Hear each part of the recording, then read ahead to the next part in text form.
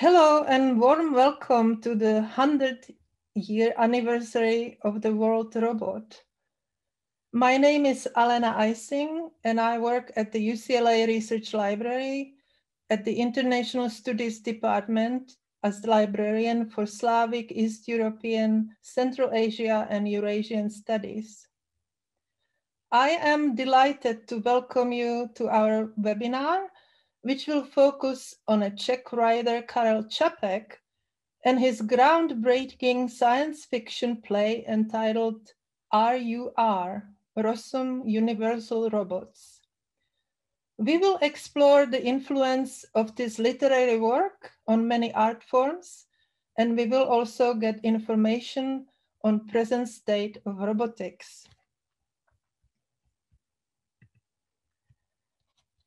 This event is organized by the Consulate of the Czech Republic in Los Angeles and the UCLA Library with a sponsorship of the UCLA Department of the Slavic, East European and Eurasian Studies, Languages and Cultures. I would like to also welcome our uh, speakers. We have very great distinguished uh, creative people who will share with you their experiences either with literature, art, performing arts, and science. I would like also like to mention that uh, Karel Čapek had a brother. Uh, his name was Josef Čapek, who, uh, who was both artist and writer. The brothers Čapek sometimes created together and they wrote together.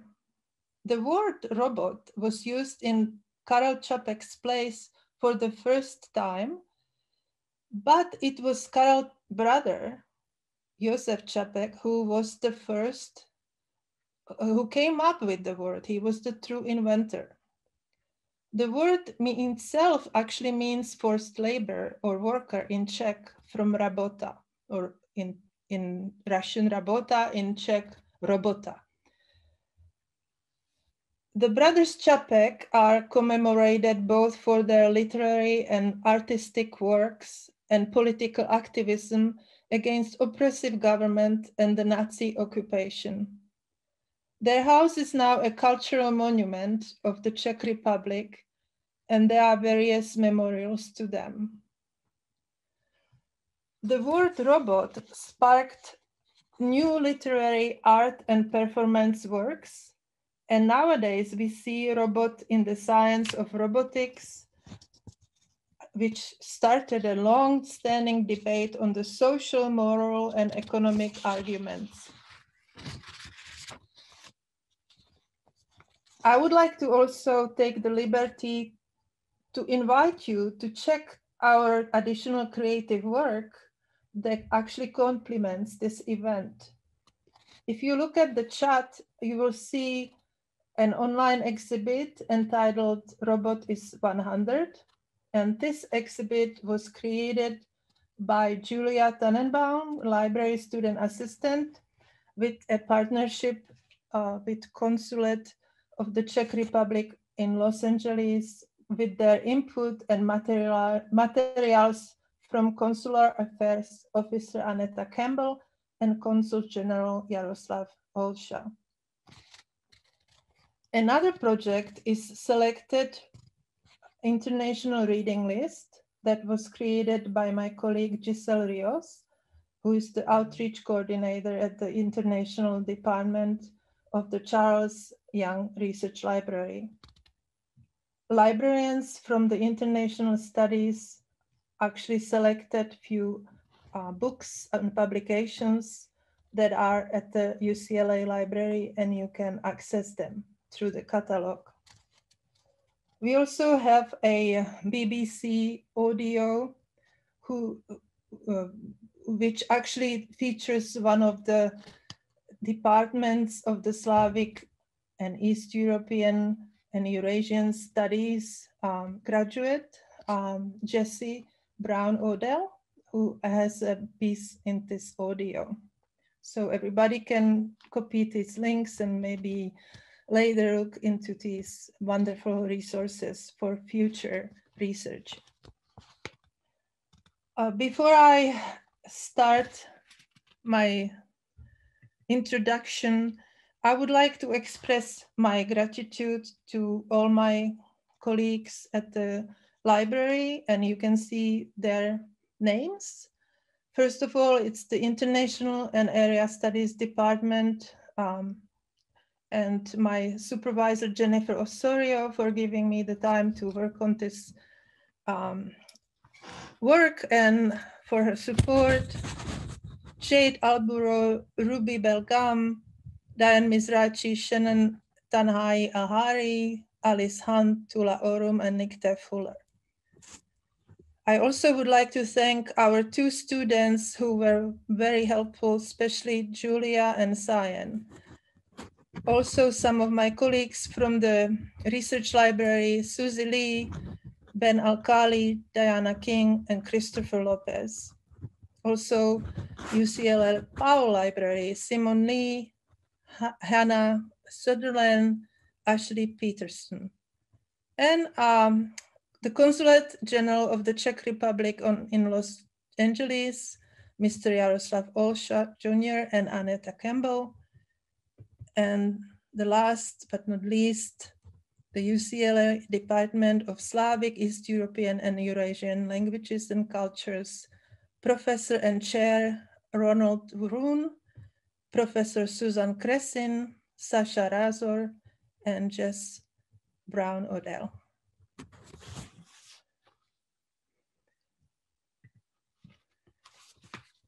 We have wonderful speakers. As I said, um, we have um, several topics and we will deal with uh, all kinds of um, research, may it be in literature, art, performing arts, and science. Uh, to get the seminar started, I would like to introduce someone who has a quite long list of accomplishments. Please join me in welcoming Jaroslav Olša, who is the new Consul General of the Consulate General of the Czech Republic in Los Angeles. Before arriving to Los Angeles, Mr. Olša has been ambassador to Zimbabwe from 2000 to 2006, South Korea from 2008 to 2014, and the Philippines from 2014 to 2018. He published several books on history, art, and literature, of Asia and Africa. He also has been science fiction editor, translator, and bibliographer. Mr. Olša started a major Czechoslovak fanzine Ikarie XB, which turned into the first Czechoslovak and Czech sci-fi monthly magazine Ikarie, published in 1992-2010, and now published as XB1. His most important role in science fiction studies has been a co-editor of the Czech Encyclopedia of Science Fiction Literature. He has edited about a dozen of anthologies, among them the first anthology of Czech science in English, published in India, South Korea, and Japan. Last year, he was one of the contributors and editors of a book entitled Robot 100. Please let me welcome Mr. Olša to Los Angeles, and I hope we will continue our cooperation. Uh, thank you very much, Alena. Thank you very much all who are participating today. Uh, as a new Consul General of the Czech Republic, this is the very first event of our consul since I arrived in December this year. And uh, I am really happy we could cooperate with this, with the Department of the Slavic, um, East European and uh, Euro-Asian Studies. I start my introduction to the first guest by, uh, first guest by a short speech. Approximately a decade ago, uh, there was a big discussion in the Czech Republic and the poll, who is the most famous Czech? And uh, as the Czechs are not very nationalistic people, they selected the fictitious personality whose name was Jára Cimrman, fictitious man who was created in the mm, second half of the 20th century and became the scientist, writer, He did everything the best, and he became the most famous Czech. Unfortunately, I would say the most famous Czech is definitely the robot. How it is possible the robot became such famous? It's incredible that there is a no single language in the world where robot is has a name different than robot. We have roboto in Japanese, we have rubut in Arabic, although there was a moment when the Arab, Arabs, uh, Arab writers wanted to use the term al-insan al-ali, artificial man, but it didn't work well and rubut won over. And I'm really happy that even Klingons are using the word robot. This is a big success when robot really became a complete space personality over the whole universe. That's very great. But it's not the only such a linguistic invention from the Czechs, and I will mention this. When you use the pistol, you should know that pistol is derived through German and French from a Czech word pišťalo, which means a flute, because the whistle used by the first guns in the medieval ages looked like a flute. And pišťalo came into German, from German into French, and now we have pistol, which is all over the world. And even using a dollar has a connotation, linguistic connotation to Czechs, because 401 years ago, Uh, in a small Czech city of Jáchymov, which was rich in silver, they started producing their coin named tolar. And tolar became a dollar in Spain. And from Spain, with their silver coin, it went up to the United States. But coming back to robot, for me, robot is the most famous Czech. And I'm happy that I can introduce the first speaker which we have today, whose name is Jaroslav Veis. Uh, Jaroslav Veis is uh, the uh, one of the starters, one of the begin, beginning, the first person who started Czech, modern Czech science fiction already in the 1970s. His two short story collections published in the second half of the 1970s were something untypical for the Czechoslovak then communist culture. He wrote very short, very good science fiction stories, which changed the image of science fiction. Why he did it? Because he was also a well-known translator. He was a translator of Brian W. Aldiss Hot House into Czech, but he translated many more science fiction works in the 1970s and 80s. He's also a very important Czech journalist, worked as an editor-in-chief of uh, one of the three main Czech dailies, Lidové noviny. And in last years, he's not so much active in science fiction field, but more as a political commentator and also as a translator. And when I mention the titles he translated recently, you will see one of them is The World is Flat by, by Thomas Friedman, and he also translated the defense, In Defense of a Liberal Education by Fareed Zakaria. He is a popularizer, popularizer of science. He wrote many books on this topic, and he was also active in promoting science among the youths and adults. Most logical, he was the person who wrote, as I say, official description of the history of 100 years of Czech robot. If I can, please, I will pass the space to Mr. Veis. Thank you.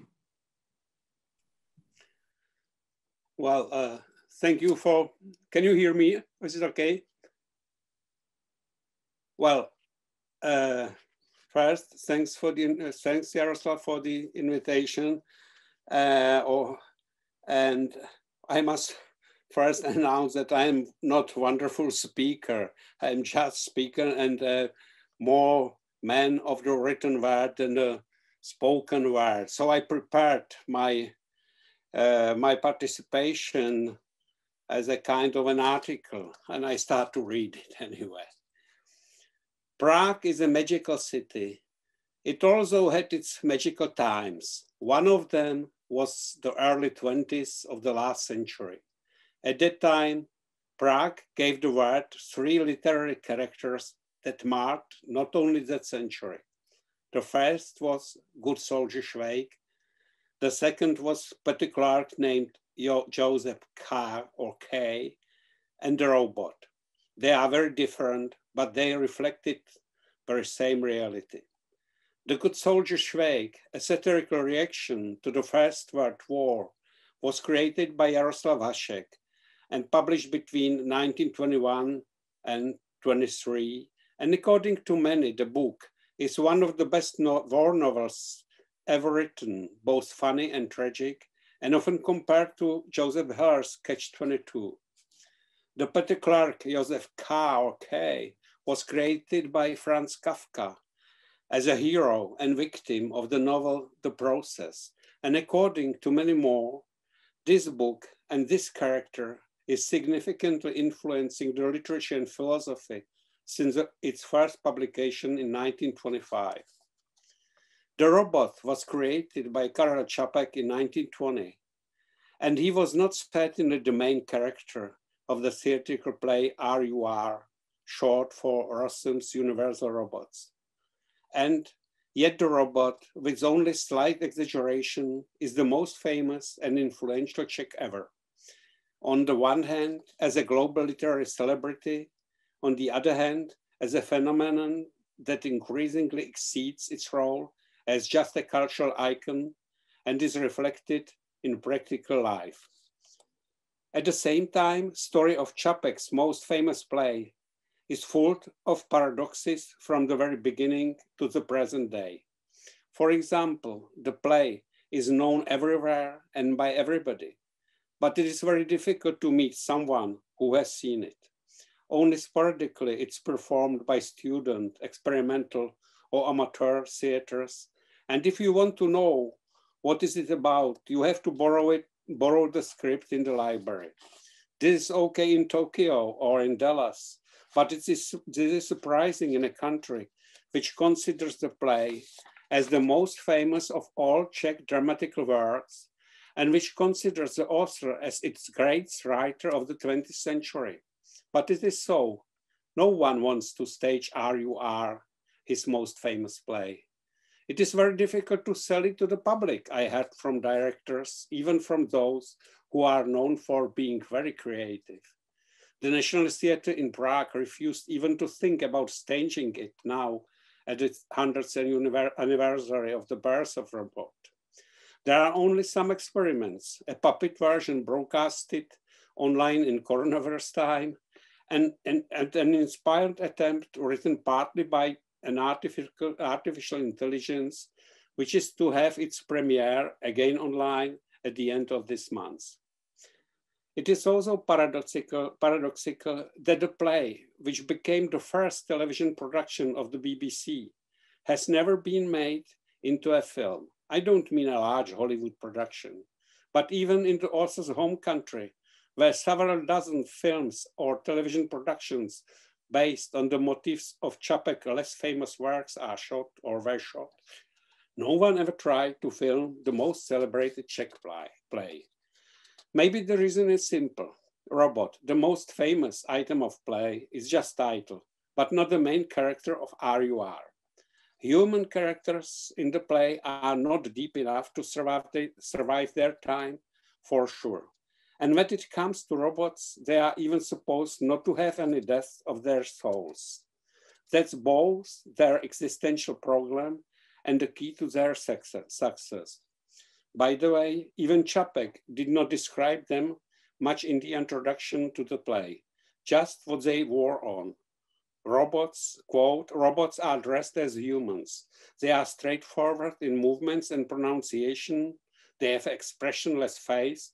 They are just starring.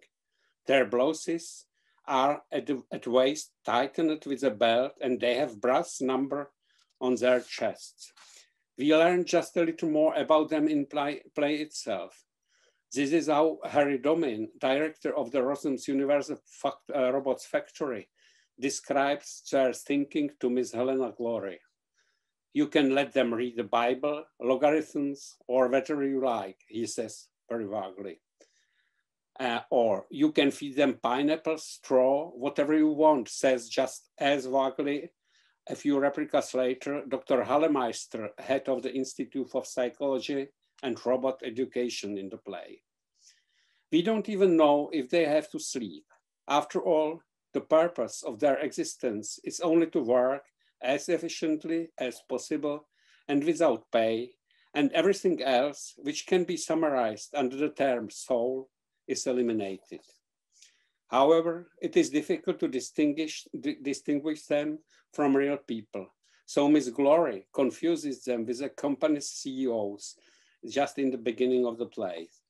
In any case, what happened, what happened that the play itself has fallen into oblivion, but its supporting character, robot, becomes more and more important with any next year. Maybe answer is simple. Čapek in RUR cleverly explored an important topic of his time, the potential destructive influence of technological civilization on society. By the way, this is a motif recur recurring in many of his other works, and at the same time created an impressive warn warning metaphor of modernity, controlled not so much by ideas and values as by a self-confident and practical intellect and predatory tycoons. There have been many interpretations of this metaphor, starting with the opinion that it was a harsh critique of selfish capitalism to the assumption that the author warns us against the exact opposite, the threat of revolts of revolutions. And probably this message does not impress anybody now. We have a hands full of other types of revolutions than social. Anyway, the place was not uh, the play was not uh, was most probably derived from the short story The System, reflecting a bit ironically the predatory capitalism. It was co-written, co-written by Čapek's older brother Josef, cubist painter and excellent thinker. A somewhat crazy story tells about an entrepreneur who wanted to make production so efficient that he hired only workers unable to think, unable to think creatively and without any emotion. Today, we would say those who resemble robots. But in 1918, when the story was published, no one knew the word yet. One of the workers eventually happens to wake up emotionally and the others become infected with emotions and thinking. They start to form social clubs and read the books, and finally they revolt and start killing managers. In any case, the very basic plot is the same as RUR. But in 1920, when Karel Čapek was thinking about a new play for the National Theatre in Prague, he developed those workers into, quote, living and intelligent working machines. And when he racked brains how to name them, first he came to first he came up with labors or labors inspired by the English word labor. But he was not satisfied with it, and he shared his doubts with his brother. Karel Čapek himself later described it in these words. Name them robots, the painter muttered with a brush in his mouth and then continued to paint. And that was it. The word has Slavic root with the same meaning as labor, but with a strong stress on serfdom. Imagine that Karel Čapek would not doubt about how to name them, and the play got the name RUL, Rossum's Universal Labors or Labors. Are you sure labor or labor would become the same icon as robot is today? I don't think so. The magic of words and their sounds is a powerful, powerful sorcerer. But back from RUL to RUR, no one at home is a prophet. prophet. Contemporary criticism of the play was not always, always favorable, though praise significantly prevailed. In Czechoslovakia, in particular, the leftist cultural avant-garde rebuked Čapek for seizing a catchy topic why not bringing anything new? In fact, only a sophisticated kitsch, the purpose of which is just uh, the purpose of it, which is just to appeal to an international audience. Even if that probably was not the author's first plan, that was exactly what happened. RUR appealed to the audience wherever the play arrived. The drama was appreciated by A.G. Wells, and the famous author the H.G. Wells, and the famous author and one of the most influential public intellectuals of his time, later promoted Čapek's unsuccessful nomination for Nobel Prize for Literature. As I already mentioned, there were many interpretations of the metaphor in 1920s and 30s when it was staged all over the world. And in the new century, with the new development of science and international structure, more contemporary interpretation of Čapek's metaphor and figures have also been offered. Rossum's universal robots can be seen with today's, uh, today's eyes, a global biotechnology corporation comparable in value, innovation, and influence to Google, Apple, Facebook, and Tesla combined. The key human heroine of the drama, Helena Glory, could be a predecessor of an activist of some current worldwide human rights NGO. According to some, Čapek liked this play, uh, play the least of all his dramatic works.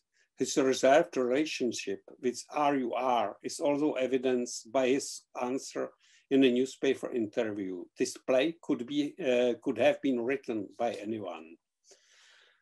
Just to remind one anecdote from the birthday of, RUR. We celebrate on January 25 uh, when the world first night of the play was in the National Theatre in Prague. But in fact, first night happened in, unintentionally on January 2nd in provincial town of Hradec Králové.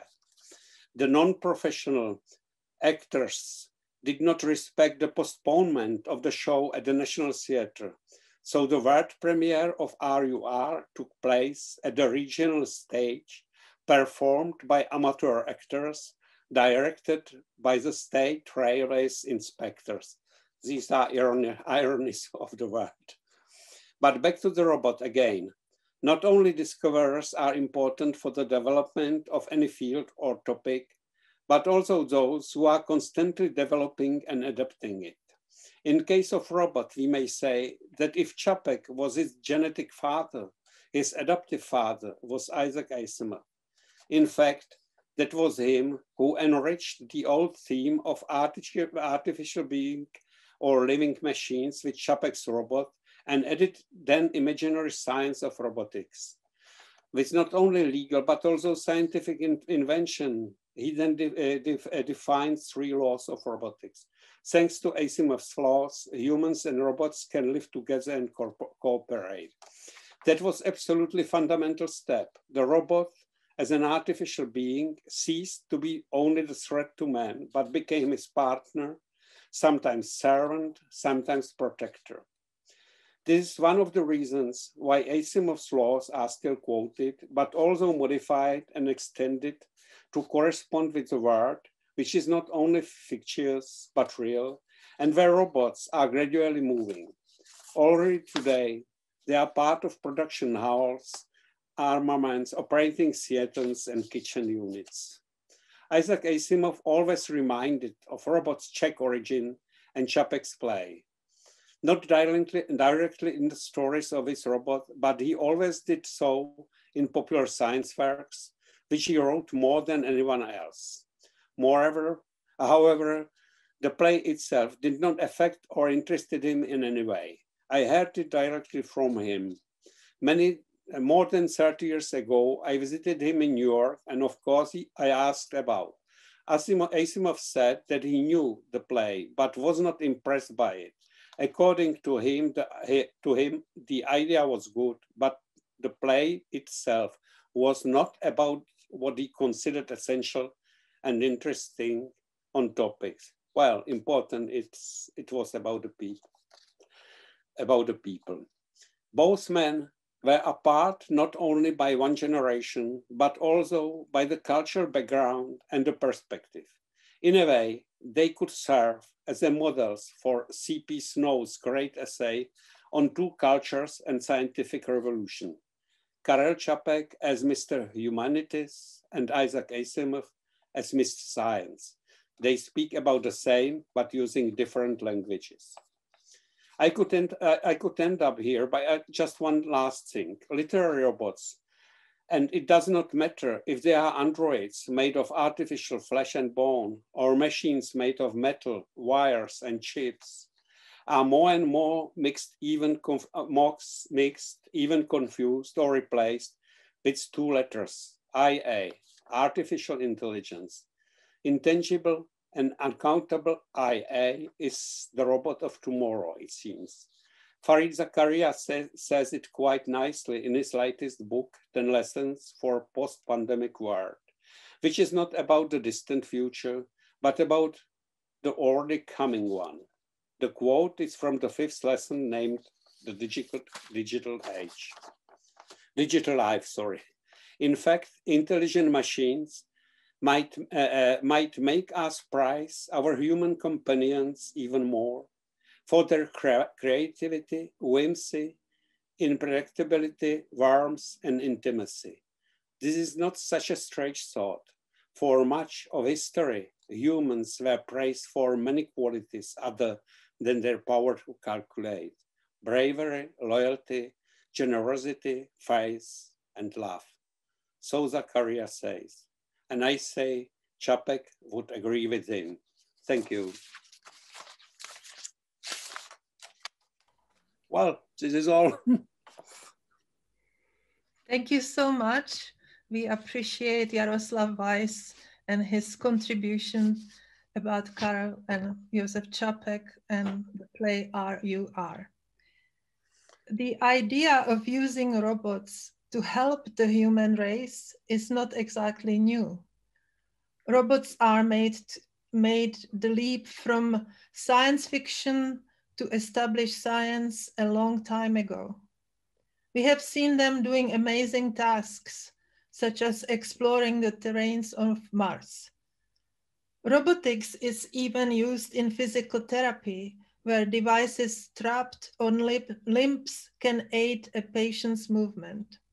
Today, we will look at a new field called socially assisted robotics, where a robot can be a companion and a motivator. At the University of Southern California Center for Robotics and Embedded Systems, robots are being developed that will play one-on-one supporting roles with the elderly, patients recovering from strokes, even children with, with social disorders such as autism or attention deficit disorder. Machines from the few new field called socially assisted robotics operate not through physical contact or by performing some physical tasks, but through the social interaction. I would like to welcome our next distinguished guest, Professor Maja Matarić, who is uh, a distinguished professor of computer science, neuroscience, and pediatrics also, she is interim vice president of research at the University of Southern California. She is also a founding director of the University of Southern California Robotics and Autonomous Systems Center. She's a co-director of the USC Robotics Research Lab and the lead of the Viterbi K-12 STEM Center. She received her PhD and MS in computer science and artificial intelligence from MIT and a Bachelor of Science in Computer Sciences from the University of Kansas. She is a recipient of the Presidential Award for Excellence in Science, Mathematics, and Engineering Mentoring from President Obama Another uh, award is from Anita Borg Institute for Women of Vision Award for Innovation and many other awards. Professor Matarić published extensively. She is the author of a popular introductory robotics textbook, The Robotics Primer, published by MIT Press in 2007. I would like to welcome Professor Matarić and give her word to introduce you to her uh, science and what she is doing currently.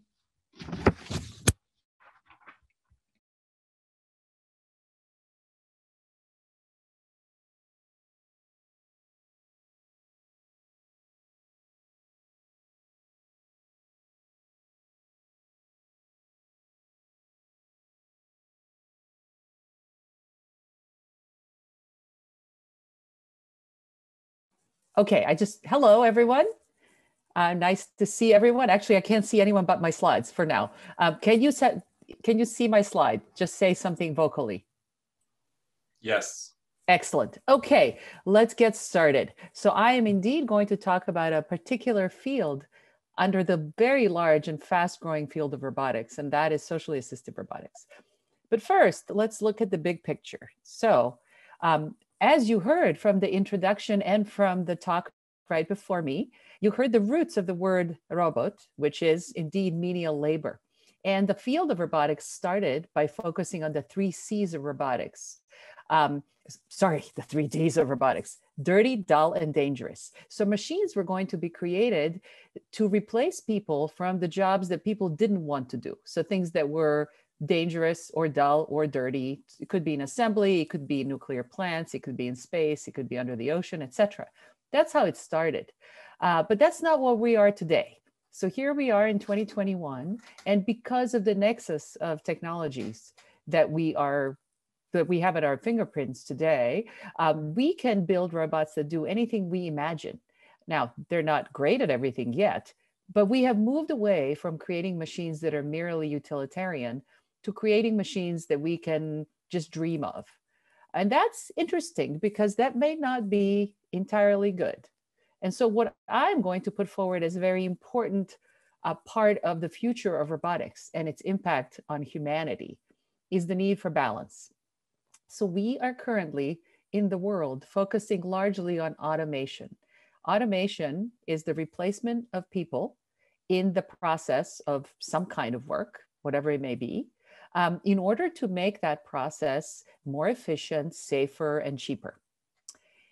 That's very important and useful in some realms, but maybe isn't the best way to do everything, because then that does put the question of the future of work uh, foremost in our minds, in particular issues of equity, economics, etc. And so, what I would like to have people think about globally is the need for balance between automation and augmentation. Uh, the early images of robotics also thought about robotics as a way of enhancing human ability. So, not replacing, but enhancing.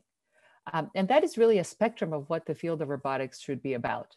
Going from complete replacement in some realms, where it makes perfect sense, really, who wants to go into a nuclear plant and be around danger, all the way to enhancement, where we allow people to become better at something through the use of robots instead of replacing them. And that's really what I'm going to focus on today. I'm going to focus on ways in which robotics can augment human ability and a particular subset of that through social interaction.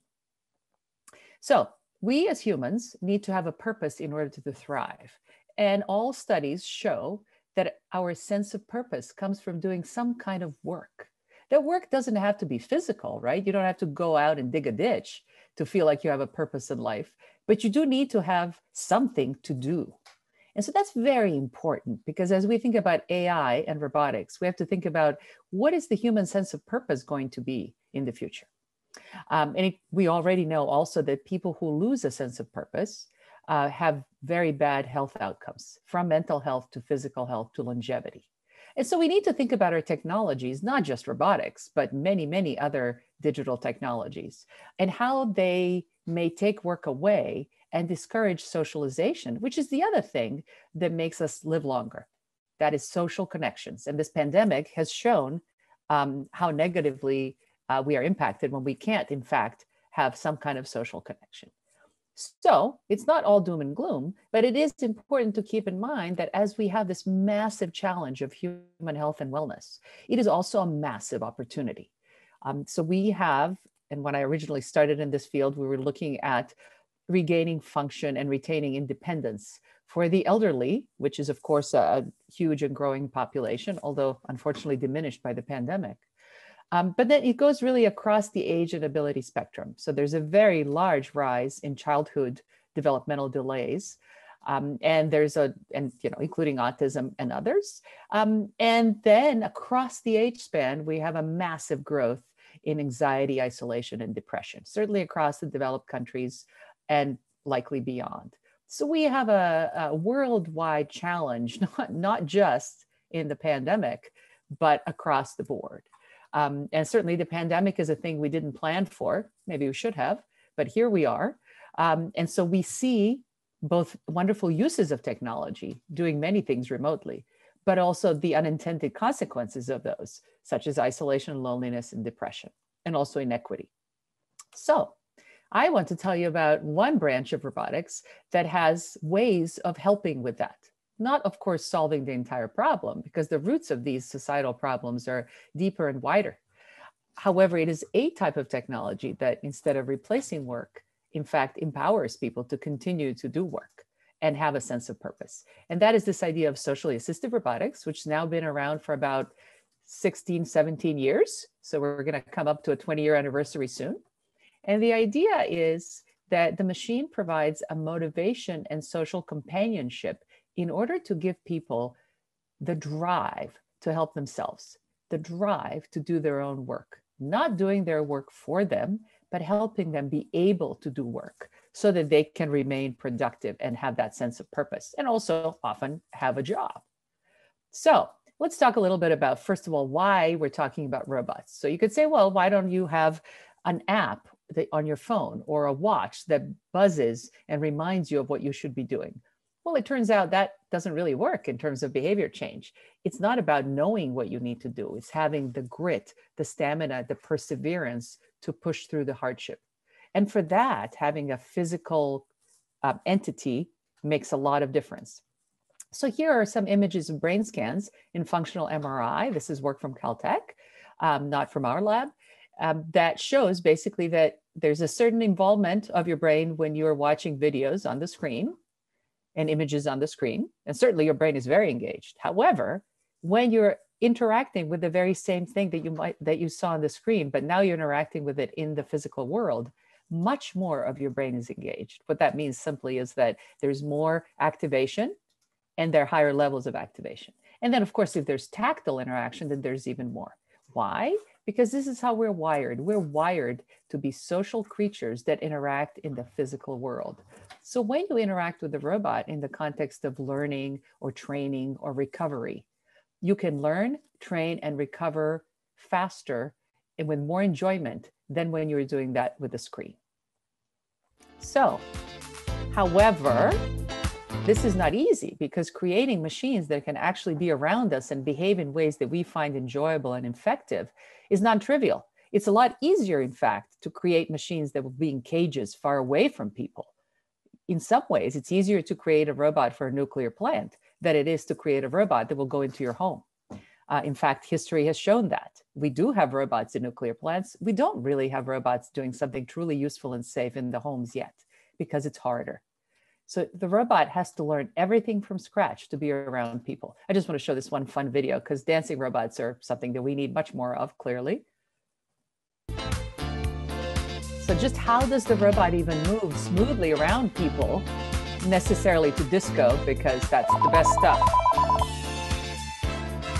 All right, so we have spent the last nearly 20 years, as I said, developing socially assistive robots uh, for various contexts. And we have looked in particular into health and wellness. So we have deployed quite a few long-term real world studies. And this is critical. So there's a lot of robotics research that happens in the lab. Um, and that is problematic because if everything you do is in the lab, it may never work in the real world. So you have to try it in the real world. It's very hard to try things in the real world, but it's necessary. It's necessary for relevance and progress. And so we've gone into rehab centers, cardiac disease wards, autism clinics, special education schools and classrooms, uh, nursing homes, retirement homes, um, just all over the place, thanks to the incredible stamina and grit and, and dedication and compassion of my students at USC. This is, you know, generations of students going out there doing the hard stuff outside of the lab in the real world. Um, and this is what we've learned. For example, we did a study recently where we left especially designed robots in the homes of children with autism in Los Angeles in the not very wealthy neighborhoods to see how they could support their learning process. This is a video this was supported by the National Science Foundation, and this is a video that's found on the web. So I'll just I'll just play a few, you know, a couple of bits of it, but you can see it in its completion on the web if you're interested. Meet Adrian, age six. This is some great work. And his robot friend, Kiwi. You are doing an amazing job. On this weekend morning, they've settled in to play some games, along with Big Brother Darren. Adrian is on the autism spectrum, and Kiwi is no toy. It's a socially assistive robot. You are doing really great. So, just the thing that I want to point out here is we can now create machines that can be supporting buddies for children with special needs in a variety of settings, whether it's in the home, which is the hardest, or in a therapy center, or in a special needs classroom, or even in a regular classroom, uh, wherever they can help the teacher, the parent. I mean, again, um, the pandemic showed that the need to create support structures in the home so that one parent doesn't spend all of her or his time just tending to the child, which makes them burned out and depressed as well.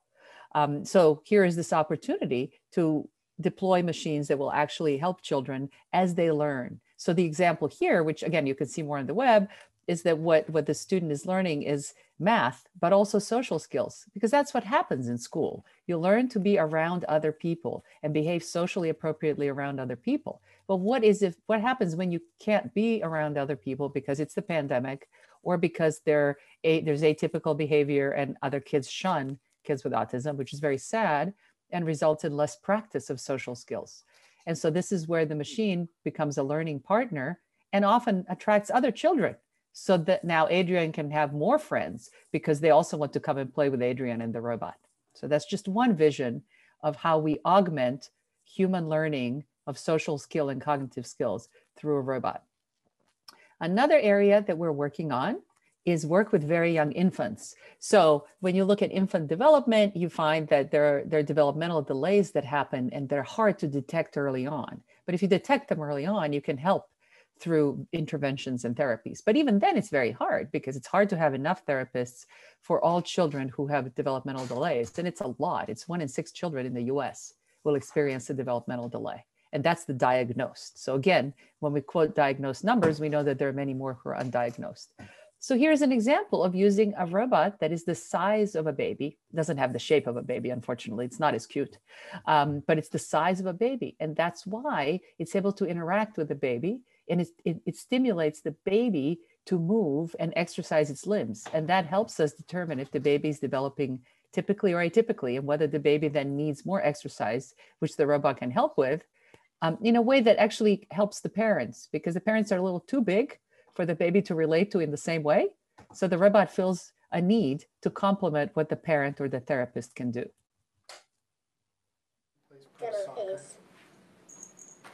So the robot shows something to the baby, and babies are very smart. They learn very quickly.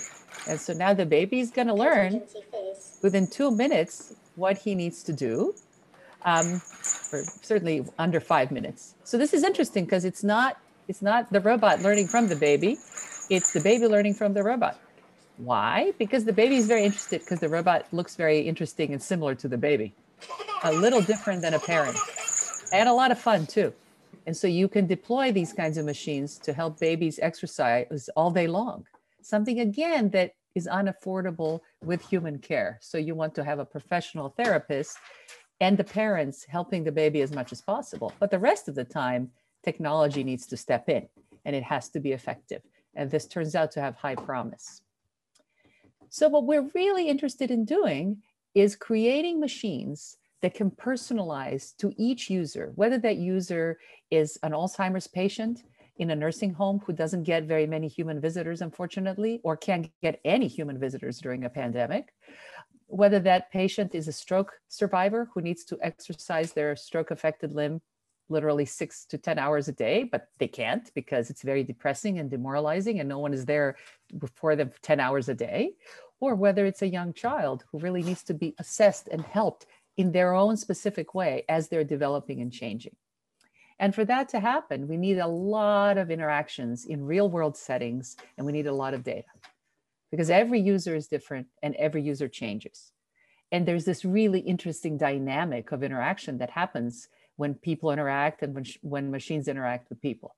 And it's constantly evolving and changing. And so we're just developing methods in machine learning to do that. So don't believe anyone who tells you, oh, we already know how to do this with machine learning. We do not. Um, AI is very, very far from having any common sense, having the ability to generalize from one area to another. But there's a lot of potential for doing great good. But for that to happen, we need to have long-term data sets from the home, from the therapy center, from the hospital, from schools. And they need to be in interesting and rich interactions. So not just, you know, a lot of pictures of people on Google, not enough. Here is an interesting interaction of a child with special needs and a robot. And look how beautifully smooth it works. And why don't we see this? I don't I don't know of any company that is developing this. From one to six. Count them out loud with me. One, One, two, two, So the robot knows if the child is getting it right, if the child is making eye contact, if the child is moving, and it's rewarding just in order, just at the right time.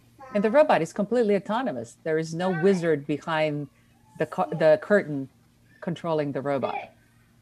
So we can do this today. Excellent. And yet, you cannot go into a store and buy this robot. And why is that?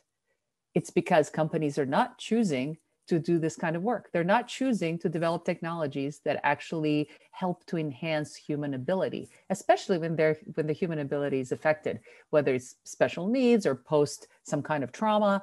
Um, we don't see these technologies being developed and sold. Why is that?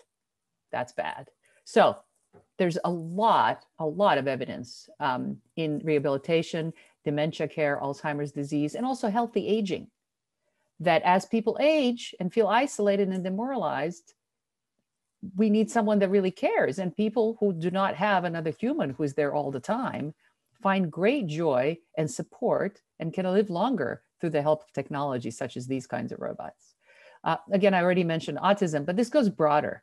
So, from developmental disorders to mental health more generally, um, in the US, 40% of college students uh, have depression or anxiety diagnosed.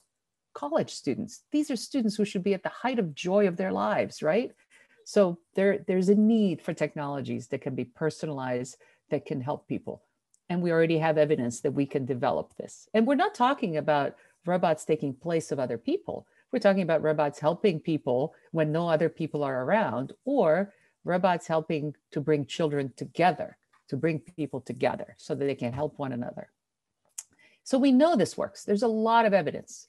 Uh, there's evidence from autism with kids smiling for the first time when they're interacting with the robot, uh, talking more, taking turns, initiating play. There's evidence with the elderly, decreasing stress levels, talking more to others, enjoyment, um, delay of onset of various decline.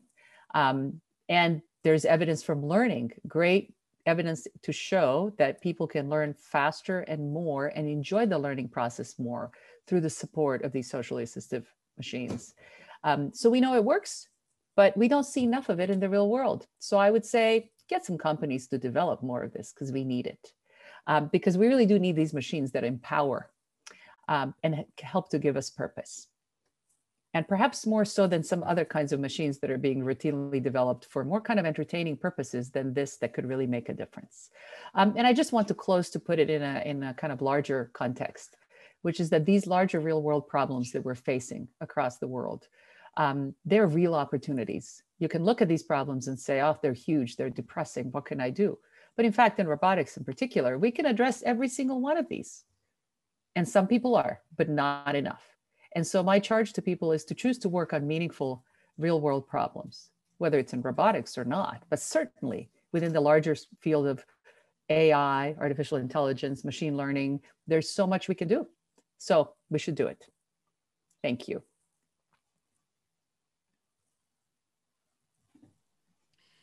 Thank you very much, Dr. Matarić. Uh, it was quite interesting to see how the robotics changed. And when I saw your uh, uh, speech, uh, I thought, in fact, that Karel Čapek created the robots which looked alike like people, but behaved like metallic monsters. And when I look on the first Isaac Asimov robotic story, Robbie, in fact, this is where the metallic monster was behaving like a man, being a friend, the best friend of the boy. That means maybe this was also one of the things Isaac Asimov predicted. Yes. But uh, before uh, introducing uh, a special guest, I will speak a bit more about uh, robots and Čapek.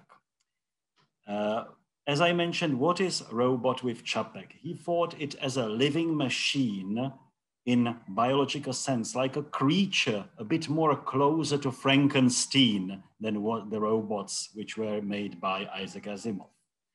But he was really unhappy. As uh, Jaroslav Veis mentioned, um, Karel Čapek didn't like his play. He thought that it was the worst play of his. And he also disliked very much how the robot was developing. But it was not mentioned that in 1935, he has published a short article on Czech daily Lidové noviny. I have no idea if this was translated into English or not, which is titled Author of Robots Fights Back. And he tried to explain to people that he really wanted the robots to be, in a way, people, not machines. But he lost the fight. From the very beginning, when the drama started going on stages, his people robots were becoming monster metallic robots. I want to say a few words about it. Uh, when we look on the early dramatizations, very often uh, they became, the robots became the monsters made from sheet metal. But when you look on 1921, on the first dramatization, we do have only two photos from the dramatization of the robots. And we see the robots have something like a standard uniform of a worker. And the only thing you can think that it's a robot, they had a number or a number on the uniform. When the first German dramatization in 1923 in Berlin happened, uh, it was made by Frederick Kiesler, future to be famous, uh, famous uh, drama producer. And he made it the first in a futuristic avant-garde style with a film projection instead of the backdrop. Also, this moved the robot somewhere to the future, somewhere unrealistic. But once more, Karel Čapek wanted to have a play about people, not about machines. But even worse for Karel Čapek's idea was when robot RUR came to Anglo-Saxon world. 1922 New York production was first made after the translation of Paul Selver.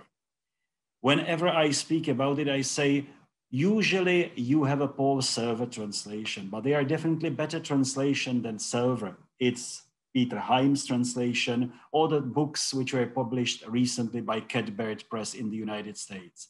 These translations are better, but still, Paul Selver translation made the style. It really became a norm. And what Paul Selver did, he removed a very short few sentences in the book where he, uh, he removed introductory text of Čapek about the appearance of a robot. Jaroslav Veis mentioned it. He wanted something like a uniform, nothing else. But when Selver removed it, it gave a freedom to American and British producers to make it different. Selver also added a new subtitle, a fantastic melodrama. Once more, something I can imagine Karel Čapek disliked or didn't like, or maybe he even told it, but I haven't seen that. And while Europe dramatizations were more about avant-garde, the American and British were more realistic. It was a really action drama, action packed with adventure about the evil robots which are destroying the humanity.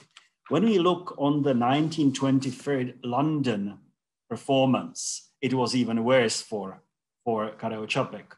Photos and reviews show robots in metallic costumes resembling medieval armor.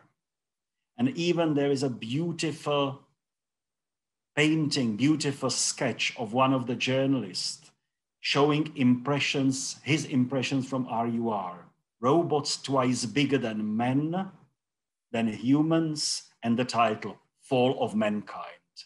Karel Čapek's creature recreated itself in something totally different.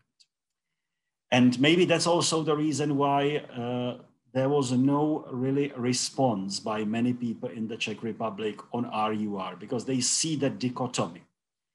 And also the fact that there is no film based on RUR. In fact, there is only one Czech film, which is really having a robot in the heart of the film. And as the Czechs are not, Czechs are really people who like making jokes of everything. Sometimes I say Czechs are not very serious people. And this film is not a very serious film. It is a very bad film. It is as bad that it could have a cult follow up, but I don't think it was ever shown in the United States. Its title is Babičky dobíjejte přesně, or You Should Charge Your Grannies Properly, because it's about the grannies, about the grannies helping the people, something like Dr. Matarić spoke, but with, of course, that Czech Swift. And we will show you a very short, a short part of the film showing what can happen when the Czech creators take over Čapek's robot and make a film of it. We should be happy that Karel Čapek has never seen this film because he will definitely hate it even more than the London or New York dramatizations. It is really something where the robot developed into totally different world Karel Čapek had not thought about.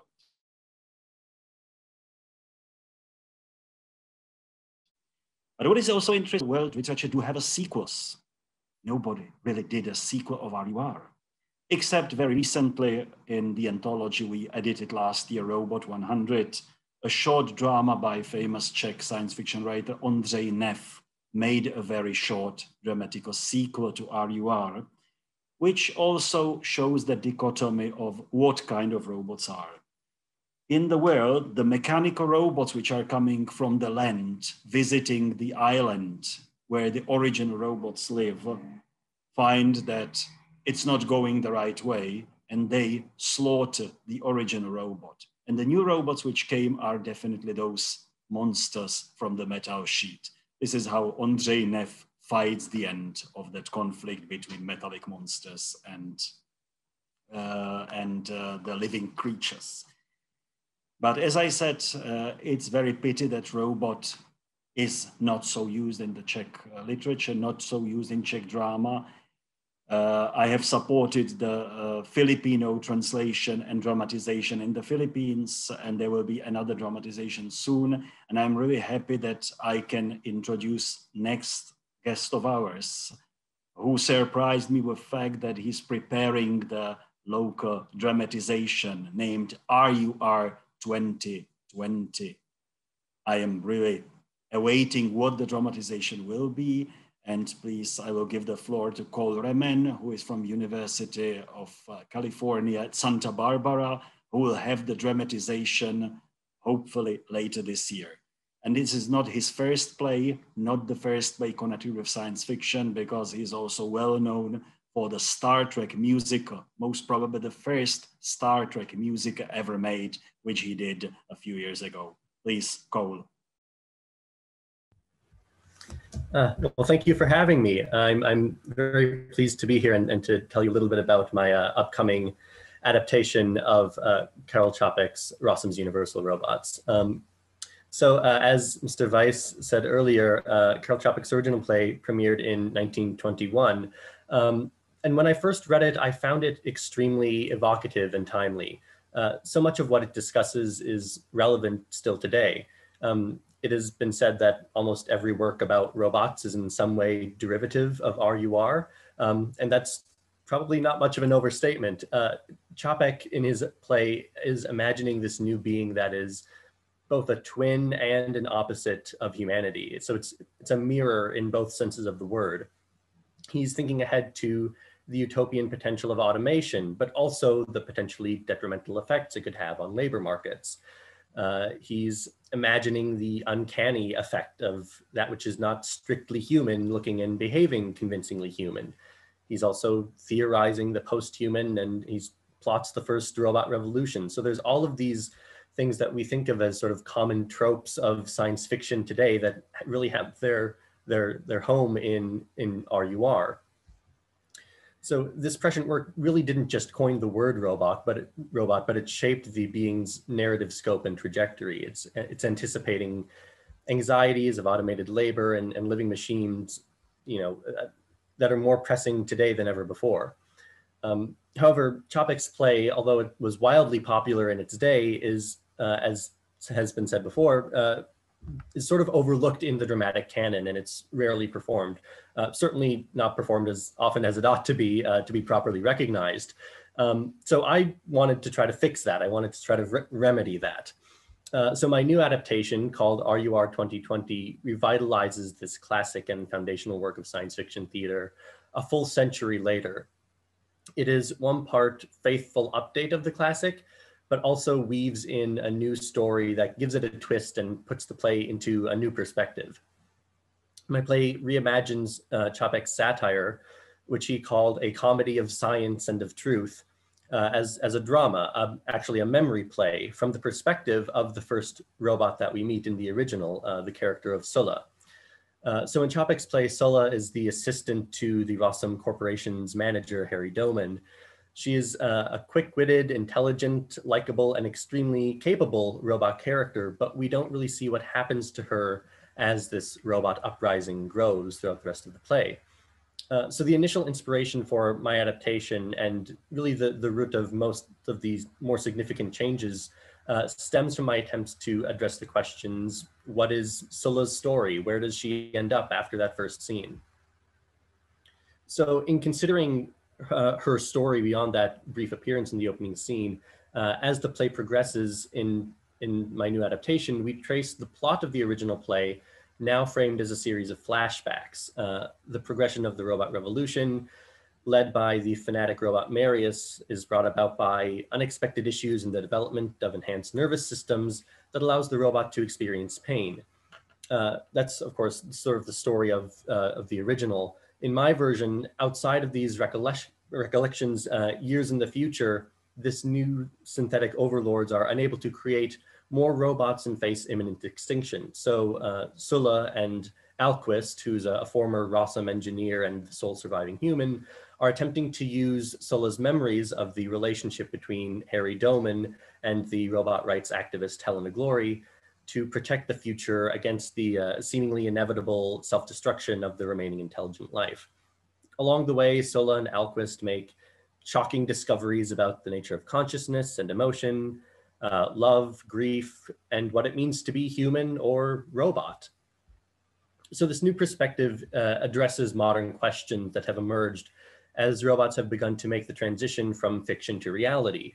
Uh, questions like, what is the nature of consciousness? What does it mean to be human when we create artificial beings that can potentially surpass our abilities? How do we understand empathy in a world where emotion can be simulated? my new play speaks to these current anxieties, weighing the utopian and dystopian potentials of this now emerging technology. Uh, the most significant changes to uh, the original uh, occur later in my play, which is roughly analogous to Acts 3 and 4 in, in RUR. Um, early in considering Sulla's character arc and her trajectory, I thought it'd be interesting to bring Sulla and Helena together again in the, uh, in the final scene following the fallout of the robot uprising as a way to explore their dynamic in a radically different scenario. Uh, how would Sulla have to have adapted to the new post-revolution status quo? How would Helena react to what Sulla had needed to become in this violent context? And how might Sulla's duties to the robot's cause put her in conflict with the human who was the closest to what Sulla had as a friend? This led to some really interesting developments that enhanced the dimensionality of these characters and and their dynamic, this dynamic between the robot character and the human character, uh, ultimately served as the emotional heart uh, of my of my play. Uh, throughout the writing process, I also strove to really find what I thought worked really well in the original and sort of emphasize that. So I strove to expand upon the symbolism of the original. Uh, in particular, I identified the motifs of music and nature uh, that I developed and unified the motif of music really became central uh, to the theme of emotion being tied uh, to expressions of creativity. So uh, for example, Helena's piano playing in my version is placed in contrast to the robot's lack of creative inspiration. And that sort of serves as, as a new powerful metaphor. Likewise, there are references in Čapek's work to nature. Helena claims that she feels, quote, lost among huge trees and she has a flower that's named after her. Um, I took this language and brought these symbols together in Sulla's new final monologue, uh, which further adapts Alquist's original monologue that references a world, quote, falling like leaves. So I'm heightening this, uh, this nature metaphor and the implication for new life by also showing Sulla caring for the flower with Helena's namesake, just as she ultimately will for the experimental robot that bears Helena's name. Overall, uh, my play RUR 2020 uh, celebrates the prescience, the, the prescience and uh, inventiveness of the original RUR, uh, but it also updates the classic for a modern audience now a century after its publication. At the same time, my play goes beyond mere modernization. It's reimagining the classic from a new perspective with this new robot protagonist in order to pose contemporary questions concerning our relationship with the machines that are no longer mere speculation. Um, so uh, as uh, Mr. Olša said, I'm hoping to stage a production of my play at UC Santa Barbara in the fall of this year or early 2022, depending on the uh, restrictions on live performance during the pandemic. Um, so if you're interested, uh, you can be on the lookout for more information on that coming uh, sometime later this year. Thank you, Cole. Uh, thank you very much for that. Uh, we are really awaiting it and we hope uh, it will be a big success. But um, I have to introduce our last speaker today um, uh, because, as I said, there were no uh, no uh, sequels to RUR, but only a few writers also use the topics from RUR, and one of these is Alvaro Zinos-Amaro. Uh, who uh, wrote at least two of his stories uh, featuring Rossums, a special type of robot he will speak about.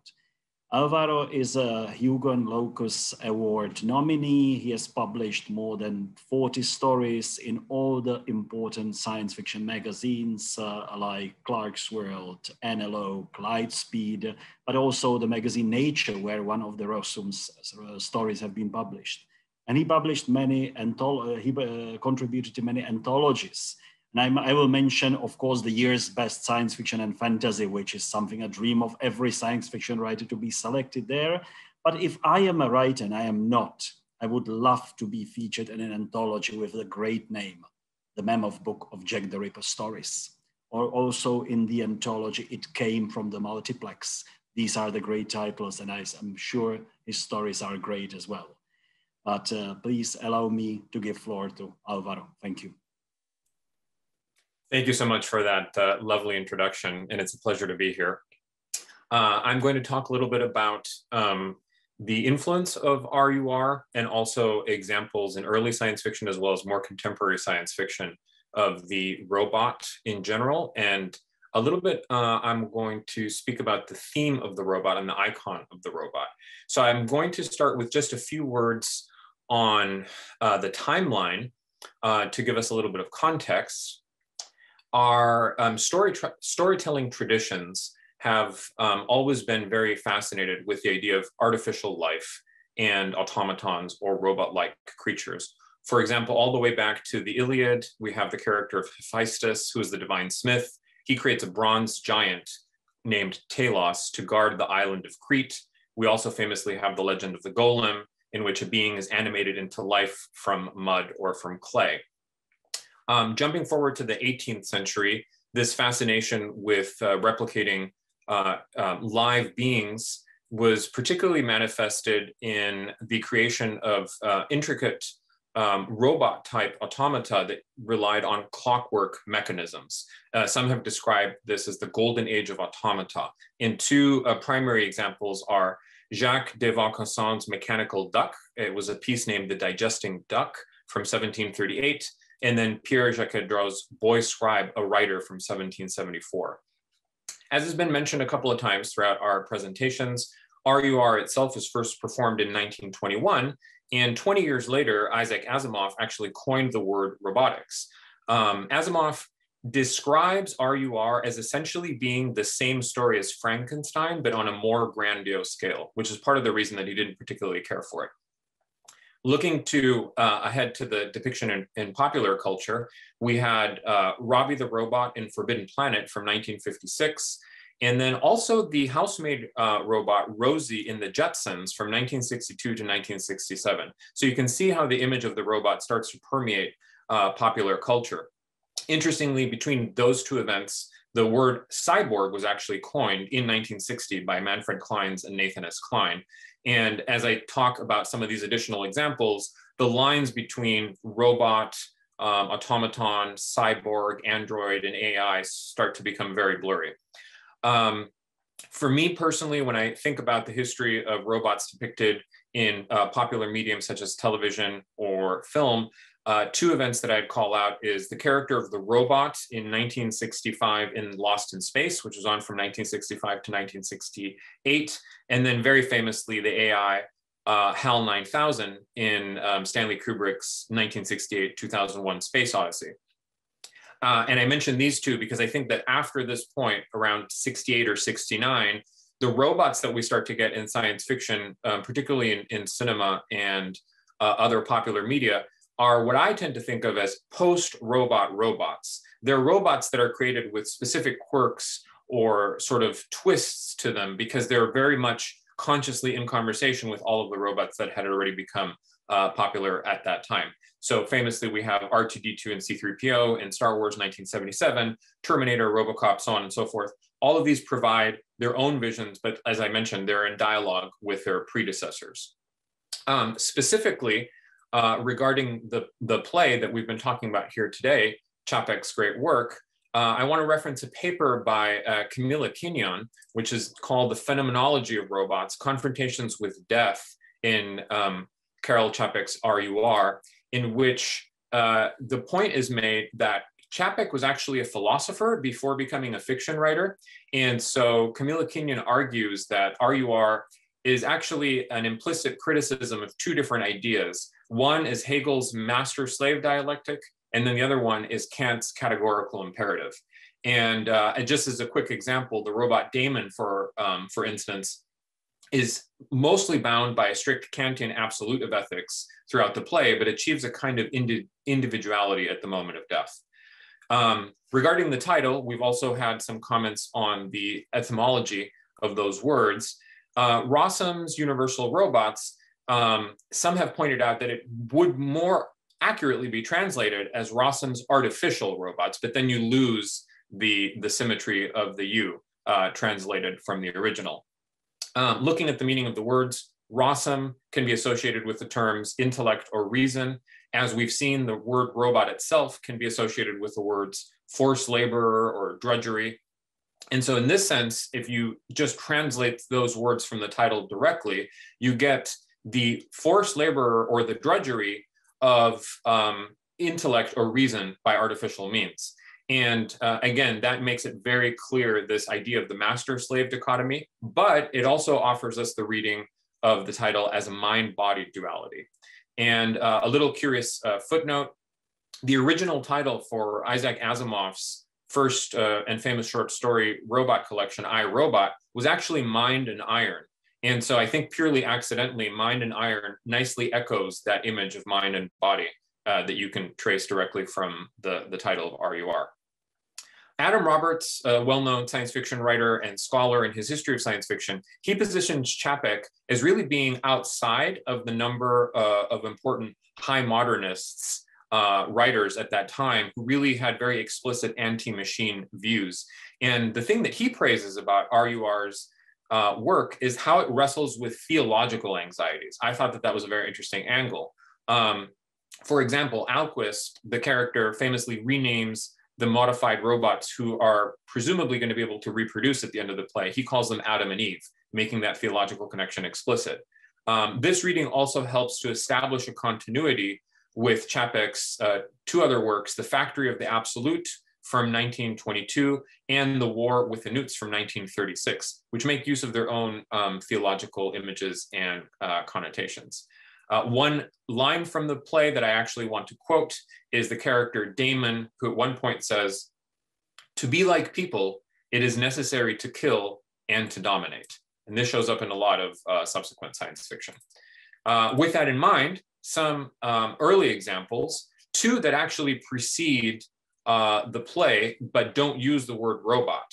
Uh, one is the novel The Auroraphone from 1890, written by Cyrus Cole. This is a very interesting novel that features a race of Saturnians who create robots that are manufactured to do the dirty work, as we heard in the uh, another presentation, and to fight wars. And in this text, they're referred to as dummies. So again, the word robot is not used, but it's a very similar concept. Um, also, George Haven Putnam, the famous publisher, he himself published a novel in 1894 titled The Artificial Mother, a Marital Fantasy. And in this book, you have a robot child carer, uh, again, uh, relevant based on the, the talk that we had, who ends up entering into a conflict with the biological mother of the, uh, of the story's twins. Um, in terms of the history of science fiction and early science fiction uh, before the 1920s, uh, we had characters who appeared as mechanical butlers, steam judges, and steam servants. Those were the earliest sort of things that approximated the, the more modern idea of the robot. And then in what is often called the Gernsback era from 1926 through 1936, uh, there is a lot of different ways in which the robot motif showed up in um, science fiction. We had robots as actors, robots as domestic help, uh, exploration devices, football players, general workers, robots in the military, robots in the police, spaceship stewards, uh, robots who were used to commit crimes. There was the revolt of the machines. There were cities that were run by machines, what we would probably call today smart cities. There was the evolution of machines. There was intelligence uh, machine intelligence that ended up controlling the world. There were mechanical brains and supercomputers. There were machines that were used to predict the future there was also at least one story of love between a machine and a human. And there were also future machines that believed that they evolved from humans via cyborgs, and machines that they believed, uh, machines that believed that they created human beings, and uh, as well as self-reproducing swarms of machine intelligence. So as you can see from that list, there was a huge array of different ways in which the the character, the the icon of the robot was treated in popular fiction uh, and that's just in the 1920s and 1930s. And so that brings me to um, some of the ideas on the thematic of the robot. Asimov described two main takes on this. He called them the robots as pathos and robots as menace themes, um, which is an interesting classification, but I want to go a little bit deeper than that. The, the critic and the um, reviewer, Gary K. Wolfe, in his excellent book, the known and the unknown, the iconography of science fiction, he has a whole chapter on the icon of the robot. And uh, Wolfe essentially says, yes, a lot of the fiction that we've had presents the theme of the robot as an example of a rebellious machine. And a lot of it he identifies can be reduced to this sort of basic idea or narr narrative form. You have a series of transformations that take what starts out to be a tool and turns it into something much more than a tool. In some cases, something that transcends humanity and becomes godlike.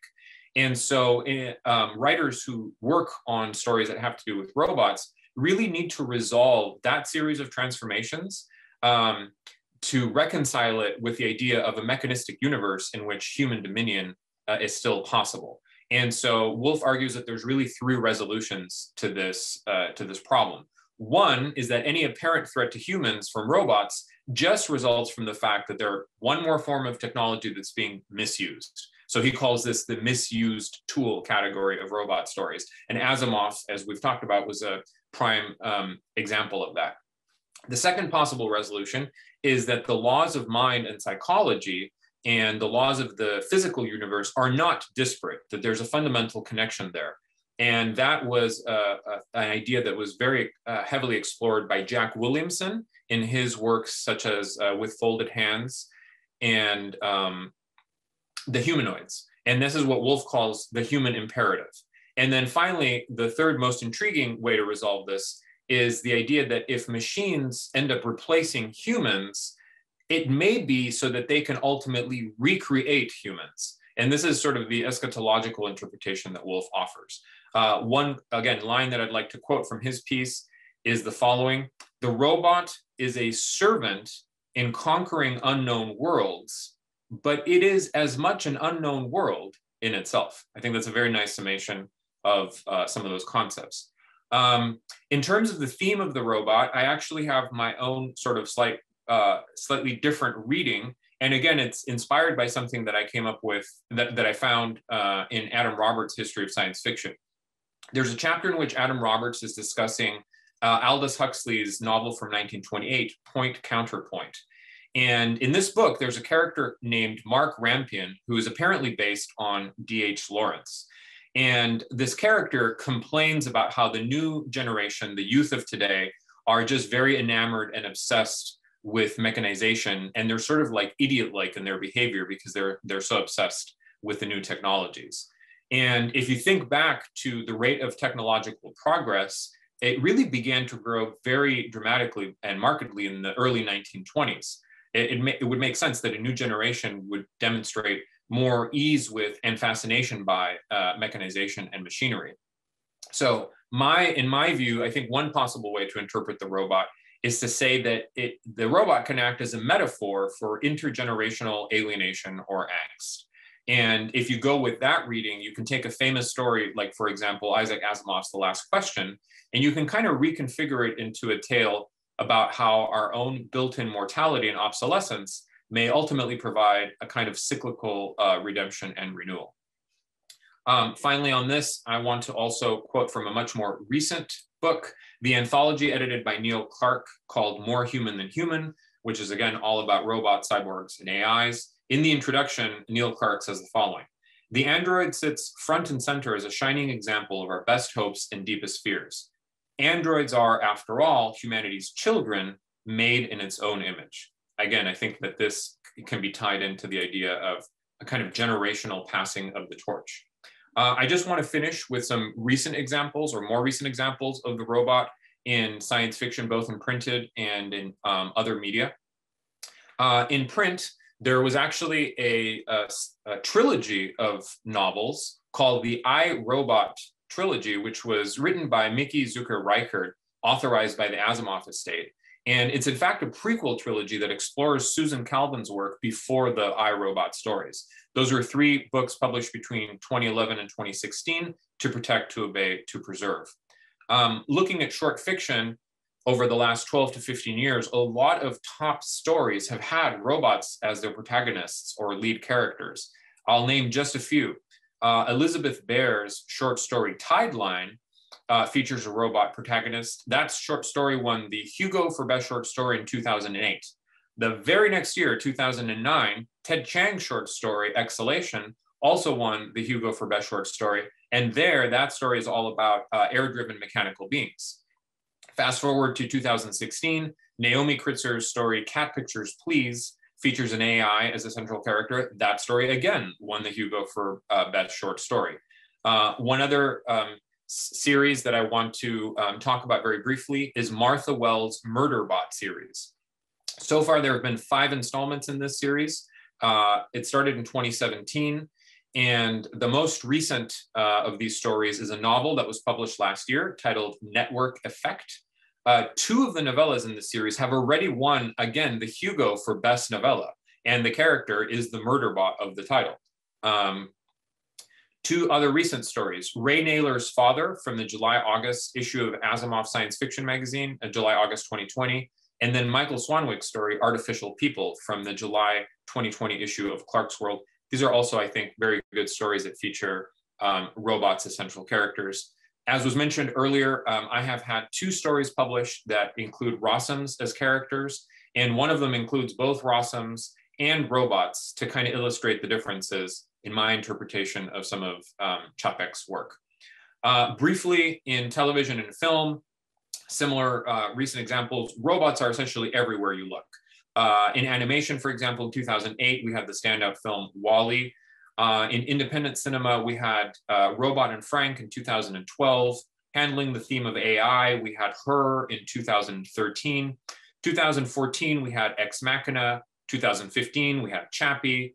Uh, in 2017, we had an excellent film that explored an ecosystem of different types of artificial intelligences, Blade Runner 2049. Um, more recently, in 2019, the main villain of the second season of Star Trek Discovery turned out to be an AI called Control. Uh, in 2019, we had the sixth film in the Terminator uh, se- sequence, Terminator Dark Fate. Uh, we also had Alita Battle Angel that featured many robots in 2019 on the big screen. Uh, again, in the Star Trek universe last year in 2020, we had the first season of Star Trek Picard, And the entire plot of the first season of Star Trek Picard, Picard mild spoiler alert, revolved around an ancient admonition that warned against synthetic life forms reaching a certain critical stage. And there's also a, a lead character in the series that ends up being um, sort of reincarnated into an artificial vessel, which really makes explicit that eschatological interpretation that I was mentioning by Gary Wolfe earlier. Uh, a couple of other examples. Season three of Westworld, obviously, this show heavily revolves around artificial intelligence and robots. It's been renewed for a fourth season. Again, last year we had Tales from the Loop, which featured robots, and then also Ridley Scott's Raised by Wolves, which has also been renewed for a second season. Um, just to close out, I'd like to echo what Cole was saying earlier. RUR really embodied in prescient form aspirations and anxieties about artificial beings. And these continue to play out in today's narratives in just a dizzying array of expressions, as I hope the kind of brief survey that I provided uh, has shown. And I'm really excited to see uh, Cole's reinterpretation and add that uh, to that to that list. Um, I think that robots also offer a perfect literary device for literalizing our attitudes towards technology in general and then also our perceptions of um, compartmentalization. As science fiction itself has become really fractured into multiple subgenres, for example, alternate history, cyberpunk, steampunk, dystopia, military science fiction, it's perhaps not surprising that robot, robots, cyborgs, androids, AIs uh, actually play a role in almost all of these different subgenres. And it's one of the few icons that is as versatile and can be adapted to all of them. Um, each generation of storytellers, I believe, stretching all the way from Čapek's uh, uh, to today's, must grapple with its own particular vision of what robots mean. And the very act of doing so reinforces what those symbolic artificial beings represent, further deepening their weight and import in our collective consciousness. So that concludes the thoughts that I wanted to share. Thank you again for uh, having me on here. Very much appreciate it. Thank you very much, Alvaro, for your uh, for your information about the recent uh, recent science fiction with robots. I have one small note. Uh, when you mentioned that Čapek was uh, very much untypical for those times, anti-machine, uh, I would mention uh, Miles J. Breuer, whose early story about anti-machine, Paradise and Iron, was published in, in pulps in the 1930s and late 20s there was the first anti-machine in the US literature. And I will note that he was also Czech. Does this mean that the Czechs are anti-machine? Maybe we'll have to develop the discussion on that topic as well. Thank you very much for that. And now we have a couple of questions uh, to be answered, if I can read some of them. Uh, the first questions comes uh, from uh, San Francisco. Uh, will the Santa Barbara performance be video recorded? Could you answer, please? Uh, yeah, we're, we're still sort of exploring uh, what those options are. Um, potentially, it could be it could be filmed. Um, I'm hoping that it's not over Zoom by the time that it that we actually produce it. So uh, I'm not sure if it's going to be as accessible, but it, will at least be live and not mediated this way. Yeah. Thank you very much. Uh, there is a small note, not a question, uh, that I should mention. Uh, film Cyber, Cybernetic Grandmother. It's a quite a unique film, also made by a Czech animator Trnka. It's a typical puppet film which has a robot as a main character. And the fact is that it was made in the early 1960s, made it most probably the first puppet film with a robot in it. And also have the same topic. The robot is helping as an artificial grandmother. That's only a small, small note. Uh, there is also another note which I must say I have never heard about. Maybe some of the panelists have uh, heard about it. There is no RUR film because Paramount bought rights by Čapek. Uh, the Paramount used to ask a huge sum of money and nobody could afford it. More is in the book by uh, uh, by uh, Scheinpflugová, můj švagr Karel Čapek. I will have to look on it. Do you have any idea about that?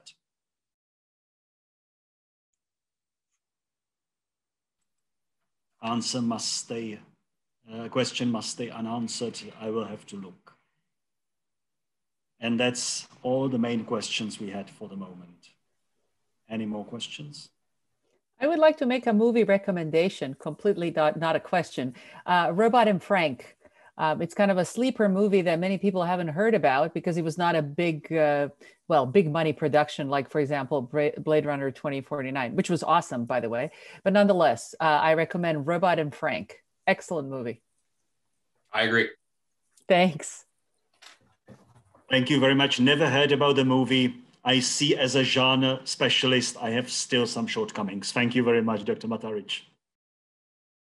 Oh, and then the other one that I also sorry, I now that, that we're on the topic, I realized I should have had a slide on this. The other one that I always recommend to everybody, and it only ends up being seen by kids, is WALL-E. WALL-E is a wonderful animated movie of kind of a reflection of humanity in machines, because of course robots are just a reflection of humans, um, and this arc of you know a better humanity. I just love that movie. So WALL-E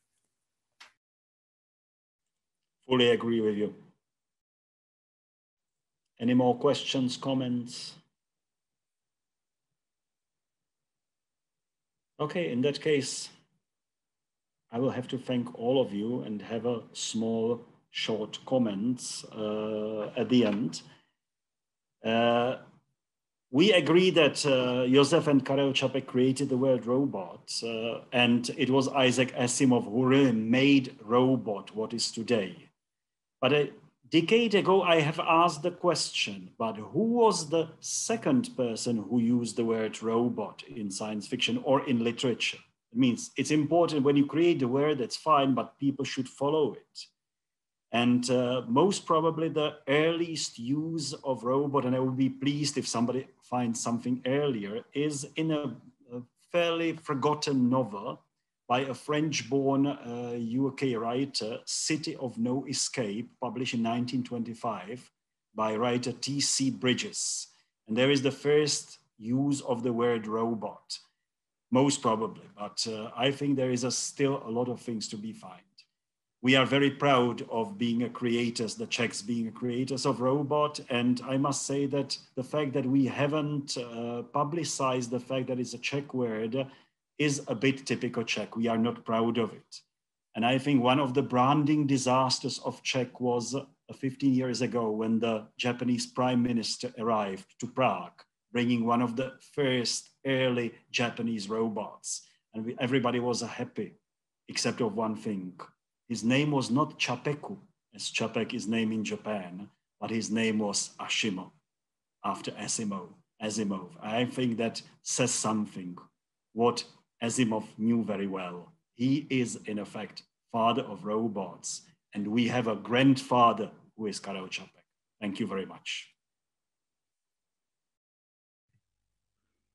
I would like to thank everybody, all wonderful speakers, and everybody who contributed to organizing and creating this workshop and seminar, and also the additional wonderful distribution of this topic.